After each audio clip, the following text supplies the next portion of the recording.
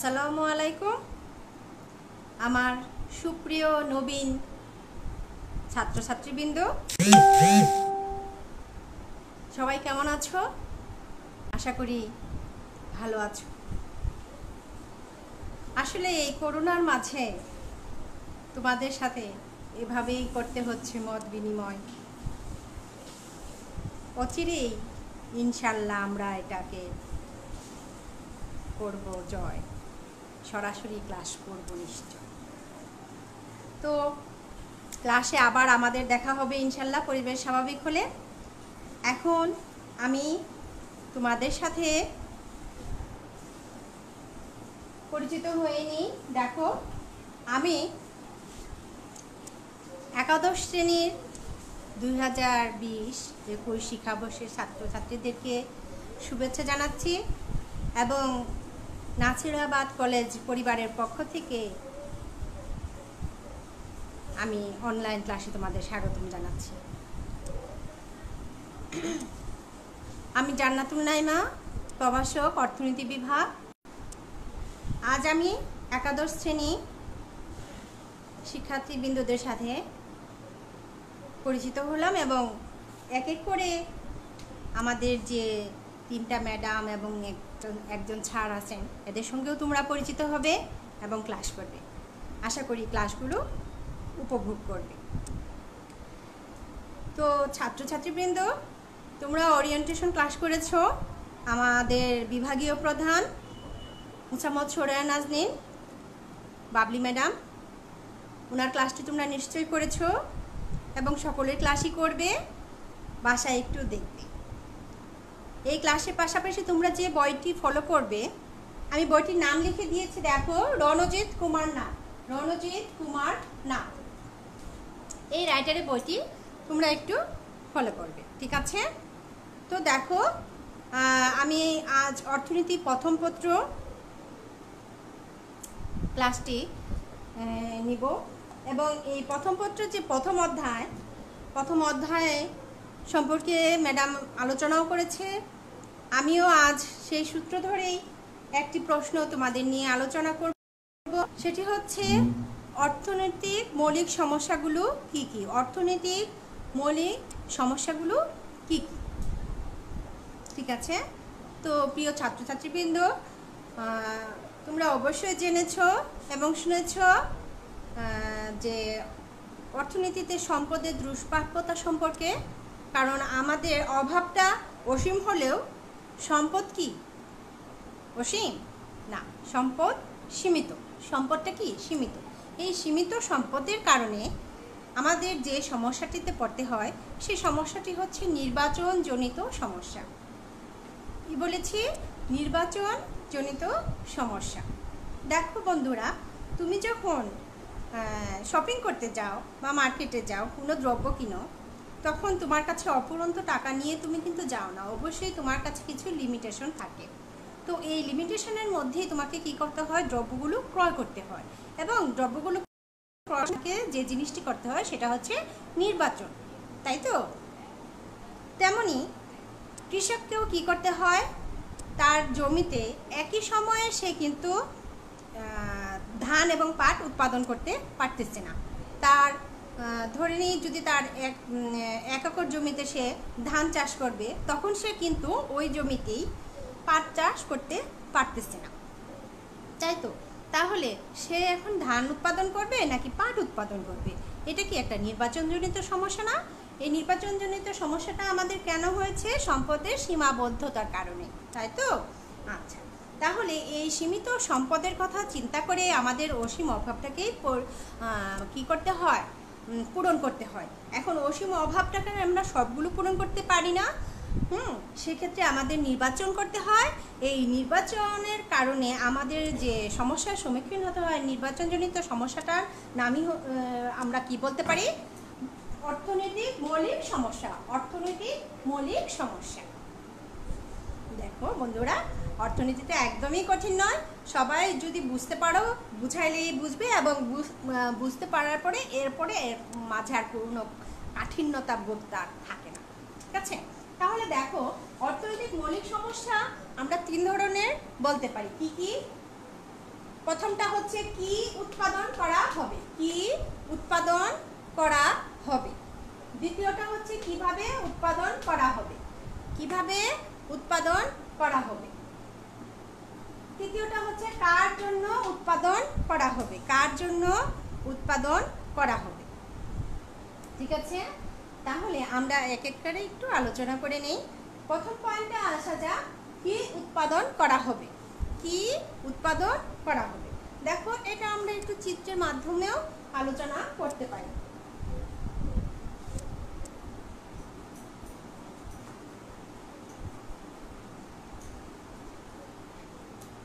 চিত্রের মাধ্যমে প্রথম পয়েন্টে আলোচনা করতে গেলে আমাদের যে জিনিসটা সাহায্য নিতে হবে সেটা হচ্ছে উৎপাদন সম্ভাবনা রেখা, উৎপাদন সম্ভাবনা রেখা।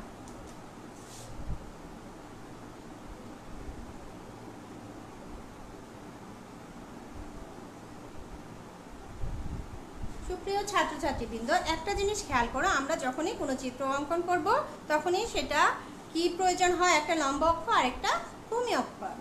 লম্ব অক্ষ আর একটা ভূমি অক্ষ। তাহলে আমি যদি দুটা দ্রব্য বিবেচনা করি, তাহলে লম্ব অক্ষে আমি দেখাচ্ছি এক্স দ্রব্য এবং ভূমি অক্ষে দেখাবো ওয়াই দ্রব্য। লম্ব অক্ষে আমি এটা ধরে নিলাম এক্স দ্রব্য। আর ভূমি অক্ষে আমি দেখাবো ওয়াই দ্রব্য। আর এটা হচ্ছে জিরো। ঠিক আছে? এই যে রেখাটা দেখছ, আমি যে রেখাটা অঙ্কন করেছি, এই রেখাটার নাম দিলাম এ বি। ঠিক আছে? এ বি রেখাটার নাম হচ্ছে উৎপাদন সম্ভাবনা রেখা, উৎপাদন সম্ভাবনা রেখা। এই রেখাটার নাম হচ্ছে উৎপাদন সম্ভাবনা রেখা। ঠিক আছে? উৎপাদন সম্ভাবনা রেখা। উৎপাদন সম্ভাবনা রেখা কি নির্দেশ করে? উৎপাদন সম্ভাবনা রেখাটা কি? মানে আমি যে আমার সীমিত সম্পদ, এই সীমিত সম্পদের মধ্যে আমি দুটা দ্রব্য উৎপাদন করব এবং কতটুকু পরিমাণ উৎপাদন করতে পারি, এটা নির্দেশ করে হচ্ছে উৎপাদন সম্ভাবনা রেখা। ঠিক আছে? আমার ওই সীমিত সম্পদের মাধ্যমে আমি যে দ্রব্যটা উৎপাদন করতেছি, এই দুইটা দ্রব্যের মধ্যে কতটুকু আমি দ্রব্য উৎপাদন করতে পারব, সেই পরিমাণটা নির্দেশ করে কে? উৎপাদন সম্ভাবনা রেখা। ঠিক আছে? আচ্ছা দেখো, আমরা একটু চিন্তা করে দেখি হ্যাঁ যে সমাজে ধরে নিলাম দুইটা দ্রব্য, লাগে একটা এক্স দ্রব্য আর একটা ওয়াই দ্রব্য। ঠিক আছে? এখন আমি কোন দ্রব্যটা উৎপাদন করব। এটা আমার একটা প্রশ্ন। আমি মানে কি উৎপাদন করব এবং কি পরিমাণ উৎপাদন করব? এটা আমার একটা মৌলিক সমস্যা। এই মৌলিক সমস্যাটা আমি একটু দেখাবো চিত্রের মাধ্যমে। ধরে নাও, আমি এই বিন্দুটা নাম দিলাম ই বিন্দু। ঠিক আছে? এই ই বিন্দুতে আমি কতটুকু এক্স দ্রব্য উৎপাদন করতে পারব এবং কতটুকু ওয়াই দ্রব্য উৎপাদন করতে পারব, সেটা কিন্তু দেখানো সম্ভব। আচ্ছা দেখো, এখানে আমি লম্বকে কি দেখাচ্ছি? এক্স দ্রব্য। তাহলে আমি যদি ই বিন্দু থেকে লম্ব অক্ষ বরাবর আসি, তাহলে সেটা এক্স দ্রব্য উৎপাদনের পরিমাণ নির্দেশ করে। তাহলে এই জিরো থেকে এই এটাকে যদি জিরো বা ও বলি, এখান থেকে এই পর্যন্ত এটার নাম দিলাম এক্স ওয়ান এটার নাম দিলাম কি? এক্স ওয়ান তার মানে এক্স ওয়ান পরিমাণ এক্স দ্রব্য উৎপাদন করতে পারি আমি। কোথায়? ই বিন্দুতে। ই বিন্দুতে আমি ও এক্স ওয়ান পরিমাণ এক্স দ্রব্য উৎপাদন করতে পারি। ঠিক আছে? আচ্ছা। এবার আসো এই ই বিন্দুতেই কতটুকু আমি ওয়াই দ্রব্য উৎপাদন করতে পারি। এটা দেখতে গেলে আমাকে কি করতে হবে? ভূমি অক্ষ বরাবর আসতে হবে। কেননা ভূমি অক্ষে আমি ওয়াই দ্রব্যটা দেখাচ্ছি। ঠিক আছে? তাহলে এখানে আমি দিলাম ওয়াই ওয়ান তার মানে ই বিন্দুতে কতটুকু ওয়াই দ্রব্য উৎপাদন হচ্ছে? O Y one O Y one ঠিক আছে? দেখো, তোমরা বুঝেছ নিশ্চয়, আমি যদি এখন প্রশ্ন করি ই বিন্দুতে কতটুকু এক্স দ্রব্য উৎপাদন হচ্ছে এবং কতটুকু ওয়াই দ্রব্য উৎপাদন হচ্ছে? তোমরা অবশ্যই বলতে পারবে যে এক্স দ্রব্য উৎপাদন হচ্ছে ও এক্স ওয়ান পরিমাণ এবং ওয়াই দ্রব্য উৎপাদন হচ্ছে ও ওয়াই ওয়ান পরিমাণ। ক্লিয়ার এবার দেখো আমি আরেকটা বিন্দু নিলাম এই বিন্দুটার নাম দিলাম এফ বিন্দু। এই বিন্দুটার নাম দিলাম কি? এফ বিন্দু। এখন দেখো এই এফ বিন্দুতে আমি এক্স দ্রব্য উৎপাদনের পরিমাণ দেখাচ্ছি এবং ওয়াই দ্রব্য উৎপাদনের পরিমাণ দেখাচ্ছি। এক্স দ্রব্য উৎপাদনের পরিমাণ হলো O X two O X two দেখো।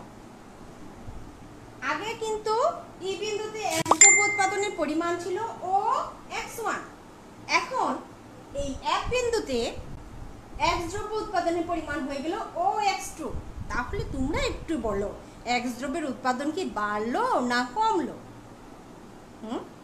হ্যাঁ অবশ্যই এক্স দ্রব্য উৎপাদনের পরিমাণ কমেছে। কারণ আগে ছিল এই জিরো থেকে এই পর্যন্ত। আর এখন কতটুকু হলো?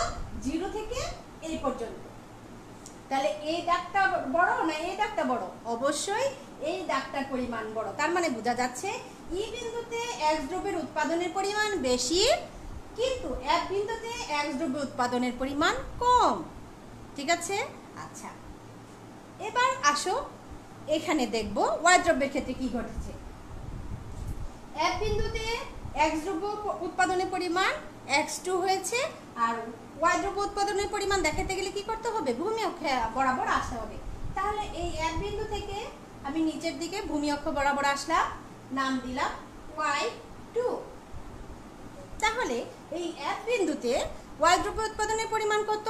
হ্যাঁ বন্ধুরা দেখো জিরো থেকে ওয়াই টু জিরো থেকে ওয়াই টু তাহলে দেখো, আগে ছিল ই বিন্দুতে এক্স দ্রব্য উৎপাদনের পরিমাণ ও ওয়াই ওয়ান মানে এতটুকু? আর এখন এক বিন্দুতে কতটুকু হয়েছে? ও ওয়াই টু এই পরিমাণ হয়েছে। বাড়লো না কমলো? হুম, অবশ্যই বেড়েছে। এক বিন্দুতে ওয়াই দ্রব্যের উৎপাদনের পরিমাণ বেড়েছে। আগে ছিল ও ওয়াই ওয়ান এখন হয়েছে ও ওয়াই টু এই যে পরিমাণটা বেড়েছে, দাগটা দেখেই বুঝতে পারতেছো। তাহলে আমরা কি দেখতে পাচ্ছি? যে ই বিন্দু থেকে এক বিন্দুতে আসলে এক্স দ্রব্যের উৎপাদনের পরিমাণ কমে আর ওয়াই দ্রব্যের উৎপাদনের পরিমাণ বাড়ে। ঠিক আছে? আচ্ছা তাহলে এখন প্রশ্ন হচ্ছে, সমাজ কোন বিন্দুতে থাকবে? ই বিন্দুতে নাকি এক বিন্দুতে? কারণ ই বিন্দুতে আমি উৎপাদনের পরিমাণ দেখালাম, এক বিন্দুতেও আমি উৎপাদনের পরিমাণ দেখালাম। দু, এই দুই ধরনের উৎপাদনের পরিমাণটা যে আমি দেখালাম, সেটা কিন্তু আমার সীমাবদ্ধ সম্পদের মধ্যেই দেখালাম। ঠিক আছে? এখন এই সীমাবদ্ধ সম্পদের মধ্যে আমি ই বিন্দুতে এক ধরনের সংমিশ্রণ পাচ্ছি, আবার এক বিন্দুতে আরেক ধরনের সংমিশ্রণ পাচ্ছি। এখন আমি কোন দ্রব্যটার উৎপাদন করব এবং কি পরিমাণ উৎপাদন করব? এইটা নির্ধারণ করা সমাজের জন্য সমস্যা হয়ে দাঁড়ায় সমাজ কি ই বিন্দুতে থাকবে নাকি সমাজ এ বিন্দুতে থেকে উৎপাদন করবে? এই যে নির্ধারণ করার সমস্যাটা, এই সমস্যাটার নামই হচ্ছে কি উৎপাদন করা হবে। এবার বুঝতে পেরেছ নিশ্চয় কি উৎপাদন করা হবে এবং কতটুকু উৎপাদন করা হবে। এটা নির্ধারণ করাই সমাজের জন্য সমস্যা হয়ে দাঁড়ায় তাহলে আমাদের এক নাম্বার মৌলিক অর্থনৈতিক সমস্যাটা আলোচনা হয়ে গেল।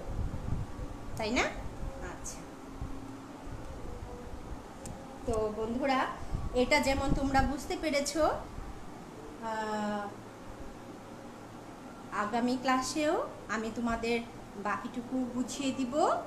তো দেখো বন্ধুরা, আমরা এক নাম্বার সমস্যা নিয়ে আলোচনা করলাম। তোমরা বাসায় অবশ্যই দেখবে।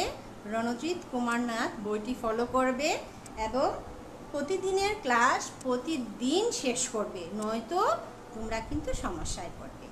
আর যদি তুমি রেগুলার থাকো, সবসময় ক্লাস অ্যাটেন্ড করো এবং পড়াগুলো বাসায় একটু দেখো, তাহলে কিন্তু কখনোই তুমি এই সমস্যার সম্মুখীন হবে না, বুঝছ? তাহলে আমাদেরকে অবশ্যই রেগুলার হতে হবে, তাই তো? আর তোমরা যে কাজটি করবে, সেটি হচ্ছে এই এখানে কমেন্টে তোমাদের নাম এবং রোলগুলো সম্ভব হলে পাঠিয়ে দিবে। কারণ তোমাদের যে উপস্থিতি, তোমাদের যে এই ক্লাস এটা আমরা অবশ্যই খেয়াল করব, ঠিক আছে? এগুলোর দ্বারা তোমাদের আমরা মূল্যায়ন করব। বুঝতে পেরেছ নিশ্চয়? হুম? তাহলে ক্লাসগুলো অবশ্যই তোমাদের করতে হবে। পাশাপাশি আমাদের কাম্য থাকবে, তোমরা আমাদের সাহায্য সহযোগিতা করবে ক্লাস করার মাধ্যমে আমরা উপকৃত হব। এই যে ক্লাস নিচ্ছি, তোমরা বুঝতে পারছ কি না কোনো রকমের সমস্যা হচ্ছে কি না তোমরা কমেন্টের মাধ্যমে অবশ্যই এটা আমাদেরকে জানিয়ে দিবে, ঠিক আছে? তো নবীন ছাত্রছাত্রীবৃন্দ, তোমাদের সকলকে আবারও শুভেচ্ছা জানাচ্ছি। হ্যাঁ আমি জানি না, আমি খেয়ালও করিনি যে আমি আমার পরিচয়টা দিয়েছিলাম কি না আমি জান্নাতুল নাইমা নাইমা ম্যাডাম বলেই সবাই ডাকে। তো আমি নতুন আরও কিছু ছাত্র পাবো, ছাত্রী পাবো। আমি তোমাদের সাথেই থাকব সব সময় হ্যাঁ যে কোনো সমস্যা আমাকে স্মরণ করবে। আমি অবশ্যই তোমাদেরকে হেল্প করার চেষ্টা করব।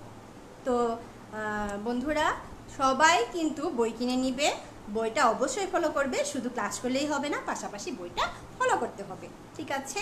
তাহলে আমি আজকে যে তোমাদের মৌলিক সমস্যার প্রথম যে পয়েন্টটা নিয়ে আলোচনা করলাম, সেটা কি ছিল? কি উৎপাদন করা হবে? বা কতটুকু উৎপাদন করা হবে?